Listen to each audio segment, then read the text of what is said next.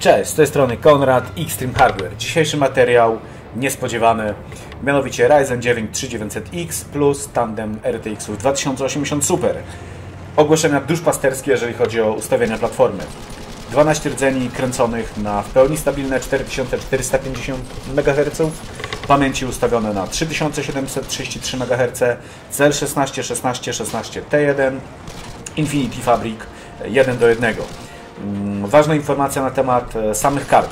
Jak możecie zobaczyć temperatury karty numer 1, czyli karty e, wyżej, w slocie wyżej, mm, są stosunkowo wysokie. No, niestety karty chłodzone powietrzem w tym wypadku są to referencyjne, jeżeli chodzi o PCB, mm, karty posiadają referencyjne PCB, natomiast modele to dwuwentylatorowe Zotaki.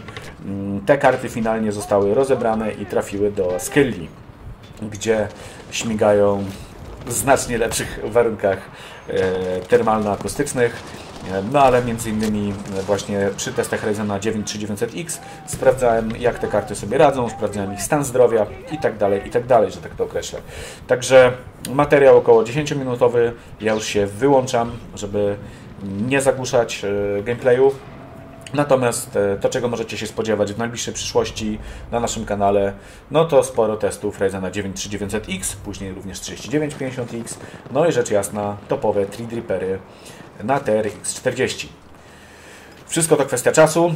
Nam e, zależy zawsze na konkretach, a nie na robieniu czegoś na szybko. Dlatego też możecie cieszyć się materiałami, które pokazują zawsze konkrety. Ok, zapraszam do oglądania no i piszcie, jak Wam się podoba wydajność e, tego konfigu, w tym wypadku piszcie w komentarzach. Pozdrawiam serdecznie, do usłyszenia, cześć.